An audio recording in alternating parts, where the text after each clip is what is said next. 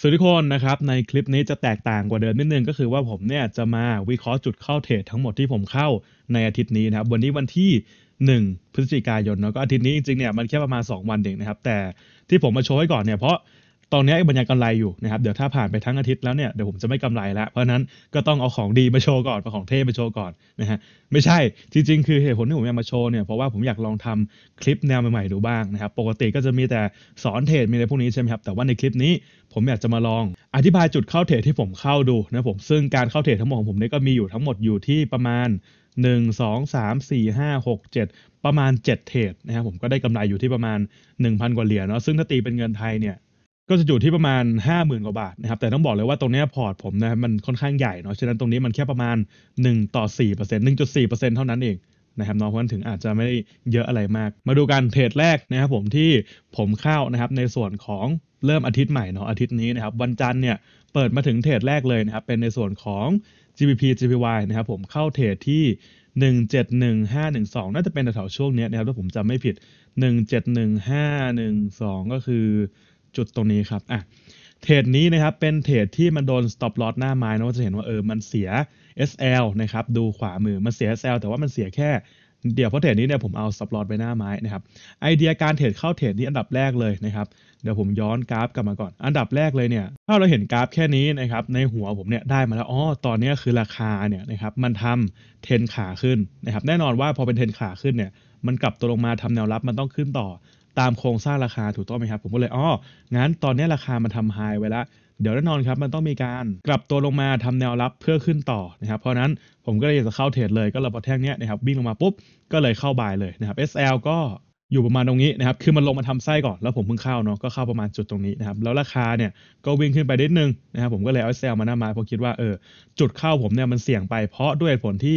เจ้าแท่งนี้เนี่ยมันเป็นแท่งแดงนะครับ ตอนผมเข้าเนี่ยแท่งนี้ยังไม่ปิดนะ ผมหวังว่าเออไอ้แท่งนี้อาจจะกลับขึ้นไปแบบนี้เลยก็ได้นะครับประมาณนี้เพื่อที่ผมจะได้ไม่พลาดเทรดนะฮะเทรดนี้ก็ค่อนข้างที่จะมีการใช้อารมณ์ในการกลัวตกรถไฟ กลัวพลาดเทรดเข้ามาเกี่ยวด้วยเนาะก็เลยเป็นสาเหตุที่ทำให้มันผมต้องเอา stop loss มาหน้าไม้นะครับ เพราะไม่เช่นนั้นเนี่ยถ้าผมไม่เอามาไว้นะครับ แน่นอนว่าเทรดนี้เป็นเทรดที่เสียแน่นอนนะครับ เพราะนั้นเทรดนี้ก็ถือว่า SL หน้าไม้ไปติดลบแค่ประมาณ 5 เหรียญก็อาจจะไม่ได้เยอะมากนะครับ แต่ก็ถือว่าเป็นเทรดที่ไม่ค่อยโอเคเท่าไหร่นะครับ เพราะว่ามีการ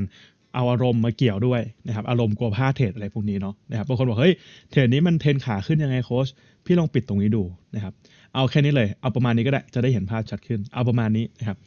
ราคาเนี่ยมันอยู่แนวต้านใช่ไหมครับแน่นอนว่าพอมันทะลุแนวต้านแล้วเนี่ยมันก็เป็นเทรนขาขึ้นนะครับก็มีโอกาสที่กราฟมันจะกลับตัวขึ้นต่อได้แบบนี้นะครับแต่สาเหตุที่ มันไม่ขึ้นแล้วผม SL หน้าไม้เนี่ยเพราะผมค่อนข้างไม่มั่นใจนะฮะให้จำไว้เลยว่า ถ้าเราเข้าบายเราต้องการแท่งเป็นแท่งบาย แต่พอแท่งนี้เป็นแท่งแดงปุ๊บเนี่ยผมเริ่มไม่มั่นใจแล้วผมก็เลยเอา SL มาหน้าไม้ แล้วมันก็โดนหน้าไม้ไปตามระบบนะครับก็ติดลบ 5 เหรียญเทรดถัดไปเป็นในส่วนของทองคำเนาะวันเดียวกันนะครับวันที่ 31 ตุลาราคาอยู่ที่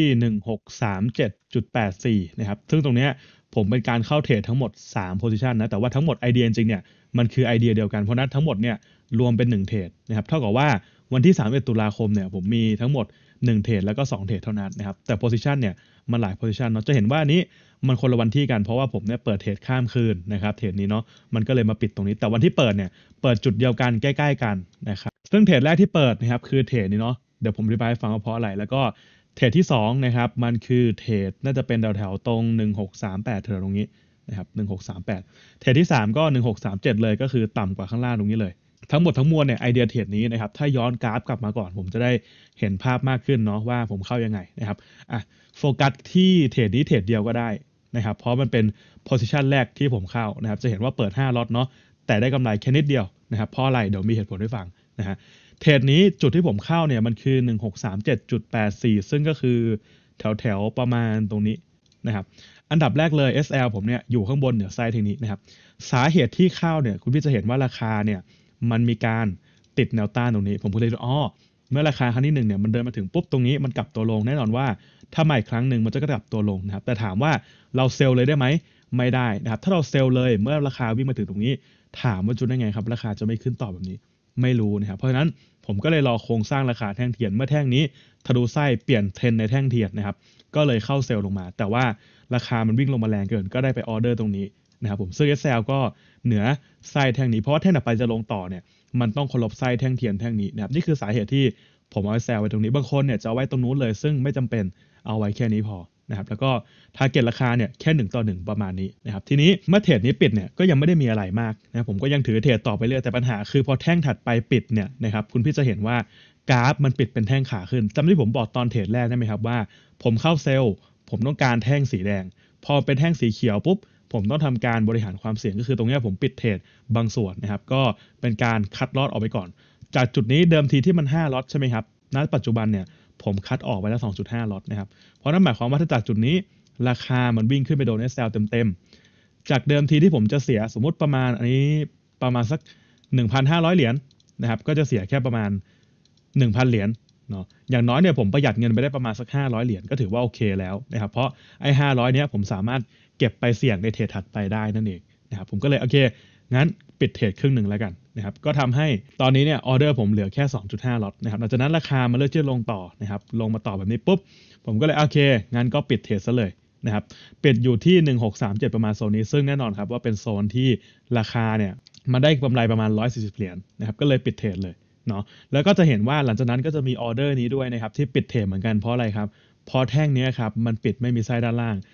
ใครที่เรียนกับผมมาดูคลิป 3 ชั่วโมงมานะครับ คลิปฟรีในช่องผมเนี่ยจะทราบว่าลักษณะที่แท่งเทียมเป็นแบบนี้นะครับ หมายความว่ามันไม่มีเลนให้แท่งถัดไปวิ่งต่อ ฉะนั้นเนี่ยมีโอกาสที่แท่งถัดไปจะขึ้นหรือลงก็ได้ ผมก็เลยปิดเทรดตรงนี้หมดเลย แล้วก็เทรดนี้ก็ปิดหมดเลยเหมือนกันนั่นเองเทรดเนี้ยนะครับปิดเหมือนกัน เพราะนั้นเท่ากับว่าเทรดนี้มันก็จะเหลือแค่ออเดอร์นี้วิ่งออเดอร์เดียว ซึ่งออเดอร์นี้นะครับผมก็ปล่อย run ข้ามคืนไปเนาะพอตื่นมานะครับกราฟมันก็วิ่งลงไปประมาณนี้นะน่าจะช่วงประมาณเนี่ยครับ แล้วก็ช่วงที่ผมออกเทรดก็คือช่วงนี้ 1634 น่าจะเป็นแถวๆแท่งนี้เลยนะครับ เดี๋ยวรอกราฟมันโหลดก่อนอ่าจุดนี้ครับ จุดที่ผมออกเทรดสุดท้ายเลยนะฮะคือแถวๆโซนนี้ 1634 เพราะผมเห็นว่าอ๋อโอเค ราคามันโชว์โครงสร้างเป็นขาขึ้นแล้วก็เลยปิดเทรดทิ้งไปเลยนะครับก็คือเป็นจบ order lot นี้ล็อตสุดท้ายนั่นเองได้กำไรอยู่ที่ 340 เหรียญนะครับทั้งหมดทั้งมวลเนี่ย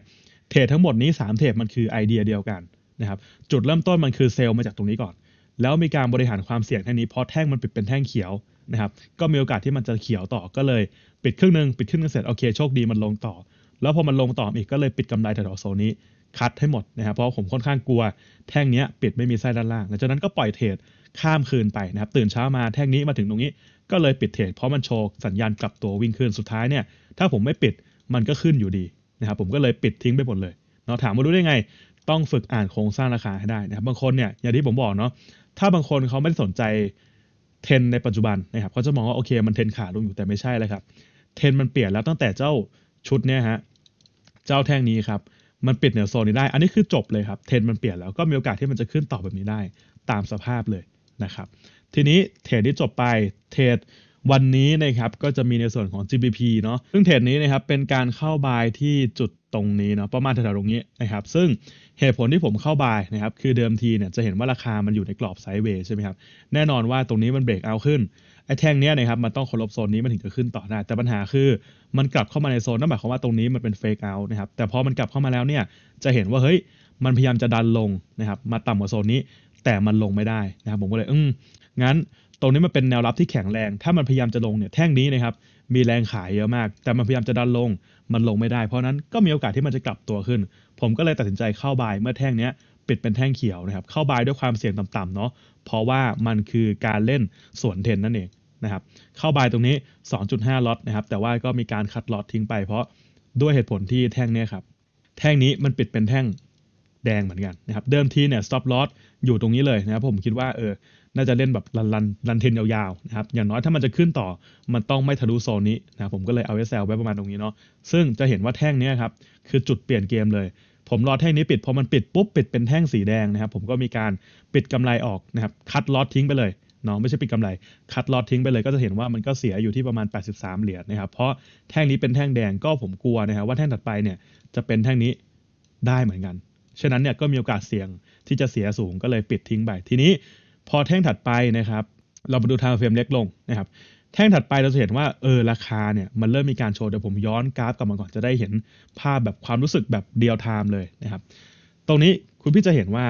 กราฟเนี่ยนะครับมันมีการโชว์โครงสร้างราคาเทนขาขึ้นเลย คือตรงนี้นะมัน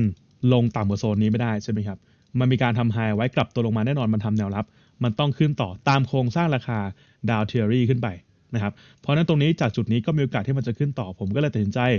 เข้า buy ตรงจุดนี้นะครับซึ่ง SL ก็อยู่แค่ประมาณตรงนี้ทำกำไรสั้นๆเนาะเทรดนี้ SL มันสั้นก็เลยเปิดล็อตหนักได้ ก็เปิดอยู่ที่5 lot size นะครับพอราคาวิ่งขึ้นไปประมาณถึงโซนนั้นนะครับโซนนี้ตามที่กราฟมันวิ่งขึ้นแบบนี้นะผมก็ cut กำไรออกนะครับ cut กำไรออกเสร็จก็เอา SL มาหน้าไม้ แล้วราคาก็วิ่งมาโดน SL หน้าไม้ก็ถือว่าจบเทรดไปนะครับหลังจากนั้นเทรดสุดท้ายนะครับเดี๋ยวขออนุญาตย้อนกราฟกลับไปก่อน เทรดสุดท้ายเลยก็คือเป็นเทรดเข้าเซลล์เมื่อกี้เลยนะครับประมาณเวลาบ่ายสองเนาะเข้าเซลล์น่าจะเป็นจุดตรง 170614 แถวๆ ตรงเนี้ยครับ 170520 อะ ประมาณตรงนี้ เหตุผลที่เข้าเซลล์แท่งนี้นะครับ เพราะว่าราคาเนี่ย มันเป็น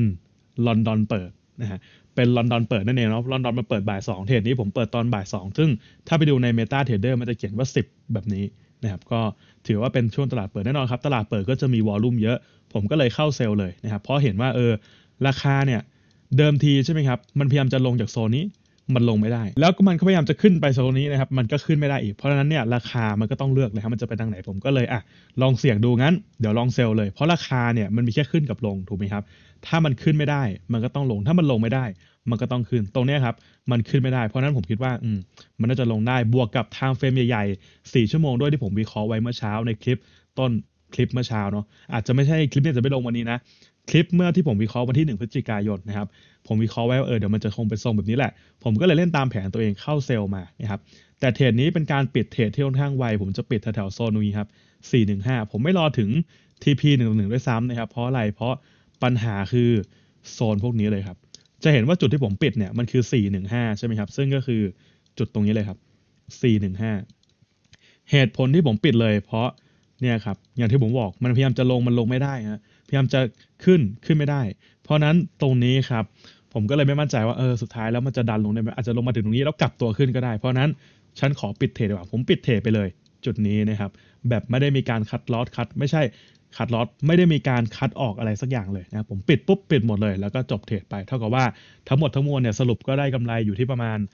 1,433 เหรียญนะผมซึ่งประมาณ 50,000กว่าบาท เวลาแค่ประมาณ 2 วันเนาะบางคนบอกโอ้โหมันเยอะจังเลย overtrade หรือเปล่าไม่ใช่นะ port ผมอยู่ที่ 1 0 0 0 0แสนเหรียญนะครับเป็นในส่วนของ port กองทุนนี่เนาะเดี๋ยวผมพาไปดูคลิปวิดีโอแล้วกันพอดีผมมีการบันทึกเทรดไปด้วยนะครับเดี๋ยวพาไปดูกันเลย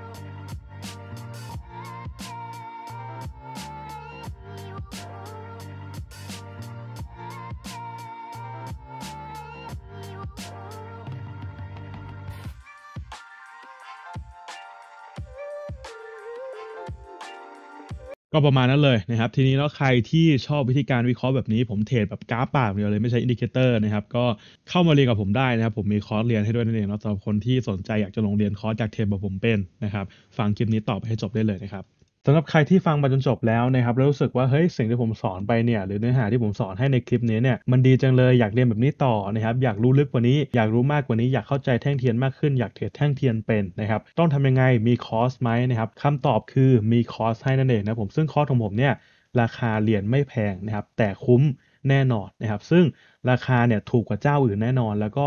ดีกว่าเจ้าอื่นแน่นอน เพราะผมเนี่ยจะสอนในเรื่องของแท่งเทียนล้วนๆเลยนั่นเองจะสอนตั้งแต่การอ่านพื้นฐานแท่งเทียน ไปจนถึงต้นขั้นสูงเลยนะครับซึ่งเนื้อหาทั้งหมดเนี่ยอยู่ที่ประมาณ 15 ชั่วโมงนะครับก่อนที่เราจะไปพูดในเรื่องของราคาอะไรพวกนี้ใช่ไหมครับเรามาดูพรีวิวก่อนนะว่ามันเป็นยังไงนะครับวิธีการเข้าเรียนเนี่ยผมจะมีเว็บไซต์อย่างนี้ให้นะครับซึ่งเป็นเว็บไซต์ที่ผมทำการใส่เนื้อหาไว้ให้ เราสามารถที่จะเข้ามาเรียนตรงนี้ได้เลยนั่นเองนะครับผมมีทั้งหมด 3 บทเรียนใหญ่ๆนะครับซึ่งเวลารวมทั้งหมดเนี่ยอยู่ที่ประมาณ 15 ชั่วโมงนั่นเองนะครับ เป็นการปูพื้นฐานตั้งแต่แนะนำตลาด forex dot size anatomy ของแท่งเทียน candle 10แนวรับแนวต้าน stop loss อะไรพวกนี้ไปหมดเลยจนถึงขั้นสูงเป็นพวก impulse entry การบริหารความเสี่ยง แล้วก็บนัสการเทรดทองอะไรพวกนี้นั่นเองนะครับซึ่งตรงนี้มีให้หมดเลยนะครับและที่สำคัญสามารถย้อนดูได้ตลอดชีพนั่นเองนะครับทั้งนี้ทั้งนั้นนะครับใครที่ยังไม่กล้าตัดสินใจเนาะว่าจะลงเรียนดีไหมผมแนะนำให้คุณพี่นะครับ เสิร์ช YouTube เข้ามาที่ช anel ของผมเนาะแล้วก็หาคลิปนี้ดูนะครับ หน้าตาคลิปจะชื่อประมาณนี้นะครับ เข้ามาดูเนี่ยจริงๆ กดเข้าไปเลยมันก็จะเจอคลิปแรกอยู่แล้วนะครับ คลิปนี้หน้าตาแบบนี้นะครับ3ชั่วโมงเต็ม คุณพี่ดูคลิปนี้ให้จบแล้วค่อยตัดสินใจว่า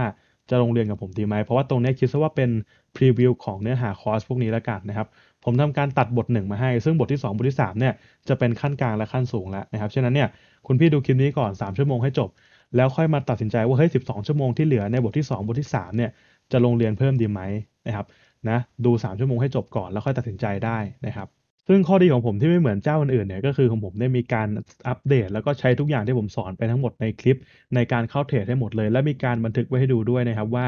จุดเข้าเทรดผมจุดออกเทรดผมทั้งหมดเนี่ยเป็นยังไงบ้างนะครับซึ่งก็สามารถย้อนดูได้ playlist นี้เลยเดี๋ยวผมทำการแปะไว้ให้ใต้ลิงก์คลิปวิดีโอนี้ด้วยนะครับซึ่งเราก็จะเห็นว่ามีทั้งเทรดที่แพ้เทรดที่ชนะใช่ไหมครับผมเนี่ยใส่ทั้งทุกอย่างไปหมดเลย ไม่ว่าจะเป็นเทรดชนะเทรดแพ้นะครับเพื่อให้ดูว่าเฮ้ยเทคนิคเนี่ยมันไม่มีเทคนิคไหนหรอกบนโลกชนะร้อยเปอร์เซ็นต์นะครับแต่ส่วนใหญ่เนี่ยมันจะชนะนั่นเองนะครับก็ประมาณนี้เลยสามารถดูได้นะครับสำหรับท่านใดที่สนใจคอร์สเรียนตรงนี้นะครับเป็นคอร์สเรียนแท่งเทียนขั้นสูงเนาะก็ไม่ต้องใช้ indicator แม้แต่ตัวเดียวนะครับและที่สำคัญเลยอะคือ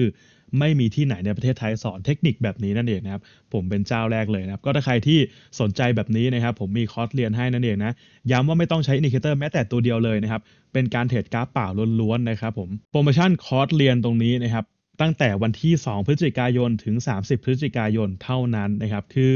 ราคาเดิมเนี่ยอยู่ที่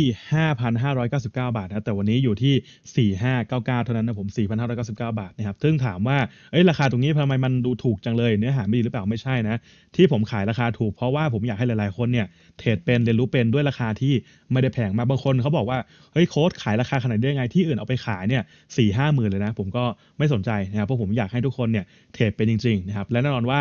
ราคานี้ตามนี้เลยนะครับ ปรับราคาขึ้นจริง ๆ ทุกเดือนนะคุณพี่ลองไปย้อนดูคลิปเก่าๆได้ เดือนก่อนๆก็จะเป็น 3 4 9 9 อะไรบ้างนะผมซึ่งผมปรับราคาขึ้นทุกเดือนที่ผมบอกนะว่าคอร์สราคานี้มันที่อื่นเนี่ยเขาขายเป็น4ี่ห้าหมื่นนะครับแต่ของผมเนาะราคาถือว่าถูกมากๆแล้วนะครับถ้าใครที่คิดว่ายังแพงอยู่ก็ลองถามตัวเองดูก็ได้นะครับว่าท่านเสียกับตลาดไปเท่าไหร่แล้วนะครับค่าความรู้เท่านี้เนี่ยถ้าจ่ายไม่ไหว ผมก็ช่วยอะไรไม่ได้แล้วนะครับ พอคุณพี่ผมเชื่อว่าหลายๆคนเนี่ยเสียให้กับตลาดมากกว่าค่าคอร์สเรียนตรงนี้อีก ที่บางคนถามเออทำไมเดือนที่แล้วก็ราคาเท่านี้4 5 9 9ทำไมเดือนนี้ก็4 5 9 9คืออย่างนี้ฮะมีคุณพี่บางคนเขาทักมาขอร้องผมไว้ว่าโค้ชครับโค้ชคะช่วยเพิ่มราคาช้าๆหน่อยได้ไหมพี่เก็บเงินไม่ทันผมก็เห็นอกเห็นใจผมก็เลยเข้าใจตรงนั้นนะครับแล้วก็โอเค ให้คุณพี่เขาอีกเดือนหนึ่งเดี๋ยวพอจบเดือนนี้นะครับเดือนหน้า ผมจะกลับไปขายที่ราคา 5599 จริง ๆ แล้วนะครับผมเพราะฉะนั้นใครที่ยังเก็บเงินไม่ทันนะครับผมรบกวนนิดนึงเนาะเดือนนี้ผมให้โอกาสเดือนสุดท้ายแล้วนะคุณพี่อย่างที่บอกว่าราคาเนี้ยจริง ๆ มันแพงกว่านี้อยู่แล้วนะครับเนาะเนื้อหาในคอร์สคุ้มค่าแน่นอนนะครับซึ่งสำหรับพี่ๆคนไหนก็ตามเนาะที่สนใจอยากลงคอร์สเรียนตัวนี้นะครับผมสามารถติดต่อมาได้ที่ Line ID at mjopo ตรงนี้เลยนะครับ ย้ำนะครับว่ามี at ด้วยนะครับผมแล้วก็พิมพ์มาว่า m J OPO ตามนี้ได้เลยนะครับ หรือถ้าพิมพ์แล้วไม่ขึ้นเนี่ย รบกวนสแกน QR code ตรงนี้ได้เลยนั่นเองนะครับ เมื่อทักมาแล้วผมรบกวนพิมพ์ว่าสนใจ 4599 ด้วย ย้ำนะครับว่าให้พิมพ์มาแบบนี้เลยนะ สนใจ 4599 เพื่ออะไรครับ เพื่อที่ผมจะได้รู้ว่า อ๋อ พี่ดูคลิปนี้มา พี่จะซื้อคอร์สเรียนคอร์สนี้นั่นเองแล้วผมจะได้ตอบถูกนั่นเองนะครับ เพราะนั้นรบกวนนิดนึง พิมพ์มาว่าสนใจ 4599 ก็ได้ หรือจะพิมพ์แค่ 4599 ก็ได้นะครับ ไม่ได้ซีเรียสอะไรมาก แต่ขอให้มันมีคำว่า 4599 แล้วกันนะครับ แล้วก็ย้ำนะครับว่าโปรโมชั่นราคาเท่านี้ จะถึงแค่ 30 พฤศจิกายนนี้เท่านั้นนะครับผมราคาผมปรับขึ้นทุกเดือนนะ เดือนที่แล้ว 3599นะครับเดือนนี้ 4599 นั่นเองนะครับสแกน QR Code ไม่ได้เลย หรือพิมพ์เอาก็ได้ตรงนี้นะครับ ผมรบกวนขอคนที่พร้อมเรียนจริงๆเนาะนะครับผมเพื่อที่ผมจะได้ตอบได้ไวขึ้นนะครับบางคนทักมาเล่นบางคนทักมาไม่ซื้ออะไรอย่างเงี้ยนะครับผมก็รบกวนนิดนึงขอคนที่พร้อมจะเรียนจริงๆนะคนที่แบบชีวิตนี้เสียเงินด้วยความไม่รู้มาเยอะล้วอยากได้ความรู้บ้างนะครับเผื่อมันจะดีขึ้น ผมขอคนประเภทนั้นแล้วกันเนาะคนที่พร้อมเรียนจริงๆ ทักมาได้เลยนะครับผมยินดีตอบทุกคำถามสงสัย แล้วก็รับเข้ามาเป็นลูกศิษย์มาเรียนด้วยกันนั่นเองทีนี้นะครับเดี๋ยวเราไปดูรีวิวกันบ้างดีกว่าเนาะว่าเป็นยังไงบ้างกับนักเรียนรุ่นก่อนๆที่เขาเรียนมานะครับผลลัพธ์เป็นยังไงบ้างนะครับอันนี้ก็เป็นรีวิวเพิ่มเติมที่ผมเพิ่งทำการอัปเดตมานะครับเนาะวันนี้วันที่ 3 ตุลาคมนะครับก็อันนี้ประมาณนี้นะครับนี่ผมเป็นการคุยกับนักเรียนที่เขาลงเข้ามานะครับอีกท่านหนึ่งนะครับผมวันนี้ผมคุยกันในไลน์เนาะก็เขาบอกว่าจากติดลบ 27 เหรียญนะครับ กลายเป็นได้กำไรเพิ่มมาที่ 99 เหรียญเนาะซึ่งเขาก็มีการอัดคลิปมาให้ดูด้วยนั่นเอง ตรงจุดนี้นะครับเป็นรีวิวบางส่วนเนาะที่ผมได้ทำการบันทึกมานะครับจากโทรศัพท์มือถือนะครับแต่ว่าการรีวิวเนี่ยก็จะมีไล่มาตั้งแต่เรื่อยตั้งแต่เดือนกรกฎาคมนะครับจนถึงแบบช่วงปลายเดือนกรกฎาคมนั่นเองนะครับก็ผมสอนทั้งหมดเนี่ยอยู่ที่ 3 รุ่นเนาะรีวิวตรงนี้จะเป็นการรีวิวแบบเรียนฟรีนั่นเองนะครับแต่ว่าเดี๋ยวเรามาดูนะว่าของฟรีจะดีแค่ไหน แล้วถ้าแบบของเสียเงินเนี่ยจะดีขึ้นไปขนาดไหนนะครับ เรามาดูก่อนเลย อันนี้ของฟรีเนาะรูปภาพแรกนะครับ ก็เป็นการรีวิวว่าโอเคเขามีการเรียนแล้วเอาไปใช้เข้าเทรดได้นะครับเดี๋ยวเราไปดูรีวิวจากประสบการณ์ที่ใช้นะครับ จากใจเลยนะครับไม่อยากจะเชื่อว่านี่คือคอร์สฟรีนะครับความรู้เรื่องแท่งเทียนขั้นสูงหายากมากนะครับ ความรู้แบบนี้ส่วนใหญ่จะเจอแต่คนเอาอินดี้มารีวิวมาสอนสุดท้ายนี้ขอบคุณมากๆ อันนี้คือรีวิวที่หนึ่งเดี๋ยวเราไปดูอีกท่านหนึ่งแล้วกันนะครับ ผมได้รับความรู้อย่างที่ไม่เคยได้รู้มาก่อน ซึ่งปกติผมแกะเอา เวลาคนลงคลิปใน YouTube หรือ TikTok เนี่ย แกะและลองผิดลองถูกเอานะครับ เพราะว่าทางครอบครัวไม่สนับสนุนเนาะซึ่งตรงนี้ผมก็ได้เปิดสอนฟรี แล้วก็มีหลายคนเนี่ยได้ความรู้จากตรงนี้ไปใช้ได้จริงเลยนั่นเองนะครับตัวนี้เป็นรีวิวอีกท่านหนึ่งนะครับก็ในกลุ่มเหมือนกันเป็นรุ่นที่ 3 ผมสอนทั้งหมด 3 รุ่นเนาะนะครับก็จะมีรุ่น 1 รุ่น 2 รุ่น 3 แต่ส่วนใหญ่จะเป็นรีวิวในรุ่น3นะครับรุ่น 1 2 ก็มีแต่ว่าแคปมาค่อนข้างน้อยเอาเป็นว่ามาดูแค่รุ่น 3 ก็พอแล้วกันนะครับน่าจะมากพอแล้วแหละท่านนี้นะครับก็มีเขียนมาว่าขอบคุณมากครับได้ความรู้มากมายเลยครูปอตั้งใจใส่ใจรายละเอียด จากที่ไม่ค่อยรู้นะครับย้ำนะว่าจากที่ไม่ค่อยรู้ ผมค่อยๆ สอนแล้วให้มีส่วนร่วมในการตอบทำให้ฝึกคิดไปด้วยนะครับเวลาสอนสด ขอบคุณที่ทุ่มเทในการสอนมากอันนี้เป็นหนึ่งรีวิวนะครับขอบคุณโคชปอมากค่ะ ดูคลิปย้อนหลังอยู่เนาะสอนดีมากครับจากใจที่ไปเรียนที่อื่นมา ได้ความรู้เข้าใจแนวคิดใหม่ๆเห็นไหมครับบางคนที่เขาไปเรียนจากที่อื่นมาเนี่ยเขาก็รีวิวว่า ดีเหมือนกันนั่นเองนะครับ อีกหนึ่งตัวอย่างนะครับบางคนจะสงสัยว่าเอ๊ะทำไมเวลารีวิวมันมันใกล้ๆกันเพราะว่านี้ผมสอนเสร็จ ผมก็ขอให้พวกพี่เขาเนี่ยรีวิวมาเลยนั่นเองครับเวลามันก็เลยอาจจะไล่เลี่ยกัน ตรงนี้เนาะคอมเมนต์นี้ผมชอบมากนะครับ เป็นในกลุ่มนะครับพิมพ์มาว่าคอร์ส advance แบบนี้หายากนะครับ ที่จะสอนกันฟรีๆในโซเชียลมีเดียแค่แนวรับแนวต้านอ่านแนวโน้มราคาขายกันหลักหมื่นนะฮะหรือ 20,000 ขึ้นไป ซึ่งอยากให้คนที่ลงเรียน2รอบเนี่ย รอบ2เนี่ยลงทุน 2 อย่างคือเวลาและอินเทอร์เน็ตนะครับก็รุ่น1รุ่น2ผมสอนฟรีนะครับพี่เขาก็เลยพิมพ์แซวๆไปประมาณนี้ ยอมรับเลยครับว่าสอนเข้าใจง่ายที่สำคัญความรู้ของดีแน่นมากๆวงเล็บนี่ยังเรียนไม่จบนะครับยังเรียนไม่จบแต่บอกว่าโอเคมีของดีเยอะ ซึ่งผมกล้าพูดได้เลยว่าหลาย ๆ คนเนี่ยเข้ามาเรียนนะครับประมาณ 99%ไม่เคยรู้เทคนิคแบบนี้ที่ผมสอนมาก่อนเลย เป็นการล้างสมองดูกราฟแบบใหม่เลยนะครับโค้ชสอนละเอียดมากค่ะโชคดีที่มาลงเรียนทันได้ความรู้ใหม่ ๆ ไปต่อยอดเยอะมาก ขอบคุณโค้ชนะคะที่แบ่งปันความรู้นะครับประมาณนี้นะ จริง ๆ มีอีกเยอะนะครับ ผมเดี๋ยวเราค่อยๆไล่ดูไปแล้วกันนะครับ ถ้าใครที่เบื่อก็สามารถข้ามไปช่วงอื่นได้เลยนะครับ ได้ความรู้ใหม่เยอะเลยโฟเล็กดีอย่างนี้นี่เองขอบคุณคุณปอนะครับสอนดีใส่ใจรายละเอียดมากค่ะรู้สึกอัดแน่นไปด้วยความรู้แต่สำหรับมือใหม่บางคนนะครับไม่มีความรู้มาก่อนจะงง ต้องทบทวนซ้ำแน่นอนนะครับ เพราะว่าเนื้อหาบางเนื้อหาเนี่ย มันจะเป็นเนื้อหาที่ใหม่เลยนะครับประมาณ 99%ที่ลงเรียนกับผมเนี่ยไม่รู้เนื้อหานี้มาก่อนนะครับแต่บอกได้เลยว่าคุ้มแน่นอน อีกท่านหนึ่งได้ปรับ mindset ใหม่ได้เรียนรู้ลึกๆของกราฟอะไรพวกนี้นะครับผมเดี๋ยวเราไปดูตัวอย่างอื่นๆกันอีกนะครับอันนี้ก็คือการที่เขาส่งเทรดมาให้ดูเนาะสอบถามผมว่าเฮ้ยเข้าแบบนี้ได้ไหมหลังจากที่เรียนจบมาอะไรพวกนี้นะฮะอะรีวิวสุดท้ายแล้วกันเนาะนะครับประมาณนี้จากใจเลยนะครับไม่อยากจะเชื่อว่านี่คือคอร์สฟรีความรู้เรื่องแท่นเทียนขั้นสูงเนี่ยหายากมากนะครับความรู้แบบนี้ เนาะมันนี่เหมือนเราจะอ่านไปแล้วใช่ไหมครับโอเคงั้นเรามาดูนี้ดีกว่า ผมได้รับความรู้อย่างที่ไม่เคยรู้มาก่อนนะครับซึ่งปกติต้องแกะเอาเนาะอันนี้เราน่าจะอ่านไปหมดแล้วงั้นเดี๋ยวเราไปดูตัวอย่างอีกตัวอย่างหนึ่งแล้วกันตัวอย่างสุดท้ายจริงๆนะครับ เข้าเรียนแค่วันแรกวันที่ 2 ตามดูในคลิปค่ะ เริ่มเข้าใจแท่งเทียนและการเคลื่อนตัวการเปลี่ยนแปลงแท่นเทียนมากขึ้น สอนเข้าใจชัดเจนเลยค่ะ ต้องขอบคุณมากๆนะคะ ที่ช่วยให้สอนแบบฟรีไม่มีกักนะครับประมาณนี้เลยนะครับอันนี้ก็เราได้อ่านไปแล้วแต่เมื่อสักครู่นี้รูปภาพมันเห็นไม่ครบด้านบนใช่ไหมครับแต่ตรงนี้ครบแล้วเนาะคอร์สวับแบบนี้หายากนะครับปกติจะ 20,000 ขึ้นไปใช่ไหมประมาณนี้นะครับ เพื่อเป็นการย้ำรอบสุดท้ายนะครับเนาะ ใครก็ตามที่สนใจอยากเรียนคอร์สนี้นะครับ ดูรีวิวไปแล้วเฮ้ยเกิดความสนใจมากเลย พี่ๆเขาเก่งจังเลยอยากทำได้บ้าง ผมบอกได้เลยว่าพี่ทำได้แน่นอนนะครับ พี่ตัดสินใจลงมือทำตัดสินใจเข้ามาลงเรียนคอร์สนี้ แล้วก็ตัดสินใจที่จะมีการฝึกซ้อมนะผมสามารถเข้ามาเรียนกันได้เลยนะครับทักมาที่ Line ID @mjopo ตามนี้เลยนะครับ มีแอดด้วยเนาะ แล้วก็พิมพ์มาว่าสนใจ 4599 นะครับ ถ้าพิมพ์ไม่เจอสแกน QR code ได้เลย ราคานี้ถึงแค่เดือนนี้เท่านั้นนะผมรบกวนจริงๆ มันได้แค่เดือนนี้นะครับ เดี๋ยวเดือนหน้าผมจะปรับขึ้นเป็น 5599 จริงๆ นั่นเองนะครับผมเพราะฉะนั้นรบกวนทักมาด้วยว่าสนใจ 4599สำหรับคนที่สนใจจริงๆนะครับขอบคุณทุกคนมากเลยนะครับหวังว่าเราจะได้มาร่วมเรียนรู้ด้วยกันนะครับเนาะขอบคุณทุกคนมากเลยนะครับ